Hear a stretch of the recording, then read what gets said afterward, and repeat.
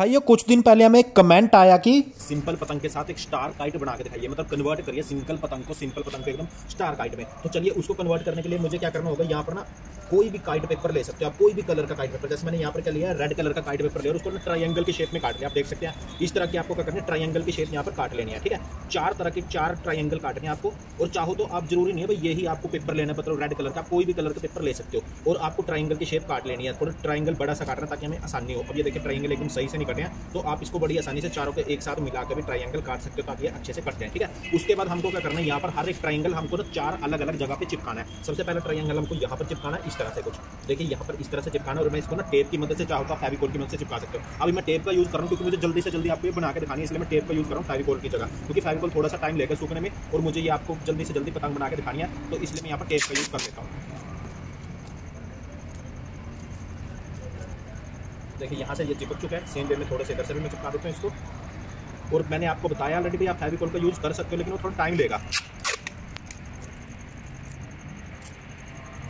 ये देखिए गाइस ये तो हमारा चिपक चुका है यहाँ पर, ठीक है? सेम वे में एक हमको इस साइड में भी चिपका देना है। तो मैं चलिए, इसको भी यहाँ पर चिपका देता हूँ। ये कुछ इस तरह से। कुछ इस तरह से ये आपको यहाँ पर चिपका देना है। ये ऐसे, ठीक है? तो इसको भी मैं टेप की मदद से यहाँ पर चिपका देता हूँ। देखिए।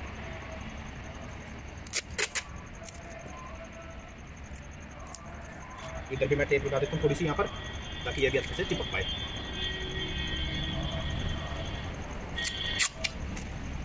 तो यहाँ पर मैंने क्या किया, इसको थोड़ा सा कमान को उठा के यहाँ पर मैंने टेप लगा दिया। अब ये भी चिपक चुका है, ये भी चिपक चुका है। सेम वे में हमें क्या करना है, दो जो पेज है हमारे यहाँ पर, ये हमें नीचे की तरफ़ ये ऐसे चिपकाने हैं, ठीक है? एक इस साइड में यहाँ पर और एक चिपकाना हमको इस साइड में इसी तरह से। तो मैं यहाँ पर इसको चिपका देता हूँ। इस तरह से, ठीक है? तो यहाँ पर मैं टेप की मदद से इस पर डायरेक्टिंग टेप लग टेप लग जाएगी बड़ी वाली। तो उसमें मैं डायरेक्ट यहाँ पर टेप लगा के इसको चिपका देता हूँ। और मैं बताया भी फेविकोल यूज़ आप कर सकते हो।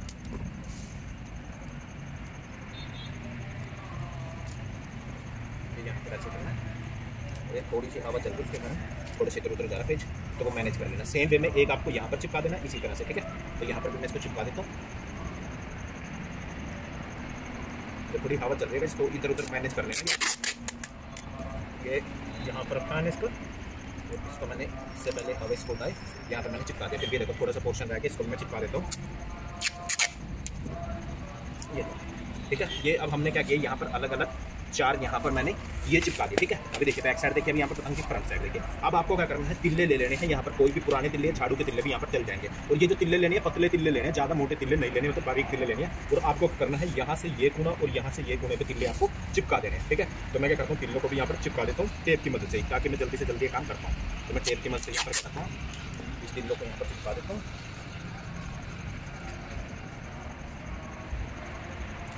यहाँ पर लगाया मैंने तिल्ले इसको। ठीक है, इसको फोल्ड डाउन कर देता हूँ। बाकी जो बच्ची टेप है मेरी साइड की सेम वे में क्या करता हूँ, मैं नीचे की तरफ़ भी यहाँ पर चिपका देता हूँ इसको। बिल्कुल स्ट्रेट करके यहाँ से, और जितना मुझे चाहिए, उतना दिन मैं यूज़ करके बाकी का तोड़ के इसको यहाँ पर चिपका देता हूँ, ठीक है?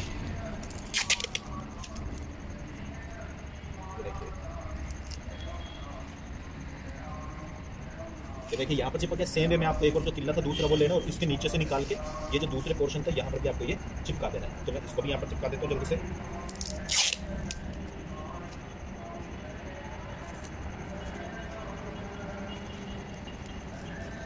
ये देखिए गाइस यहाँ पर, और सेम वे मुझे क्या करना है, ये यहाँ पर जहाँ तक आएगा, वहाँ तक मैं के इसको यहाँ पर लगा देता हूँ, ठीक है?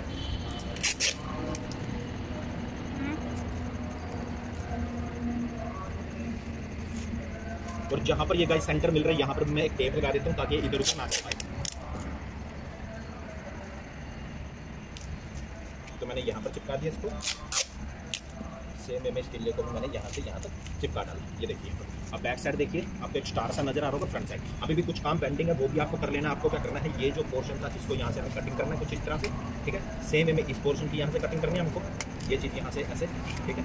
ये चीज़ कटिंग होगी हमारी। उसके बाद यहाँ से आपको क्या करना है, इस तरह से तिरछा कट लगाना है। यहाँ से ऐसे और यहाँ से इस पर लगाना ठीक है?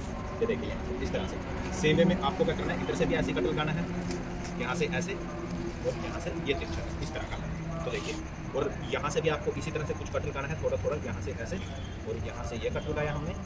इस से तिरछा कर थोड़ा सा और यहाँ से सेम वे में, यहाँ से ऐसे, और यहाँ से ये थोड़ा सा तिरछा कर यहाँ से लगा दिया। इसी तरह से हम ऊपर की तरफ़ भी ऐसे थोड़ा थोड़ा सा कट लगा देते हैं। हमें क्या करना है? यहाँ से ये पोर्शन और यहाँ से इस पोर्शन को हटाना है। सेम वे में यहाँ से इस पोर्शन को हटाना है हमें, और यहाँ से इस पोर्शन को हटाना है। तो देखेगा वैसे अब यहाँ पर कुछ हद तक जो हमारी पतंग थी, यानी स्टार काइट थी, वो बन के रेडी हो चुके हैं। नेक्स्ट अब हम क्या कर करना है? झालर लगानी है। अब मैं झालर जो लगाऊँगा, वो लगाऊँगा इस पेज से। यानी अब मेरे पास यहाँ पर जो यूज़ करूँगा, वो मैं येलो कलर का यहाँ पर काइट पेपर यूज़ करने वाला। हूँ ठीक है?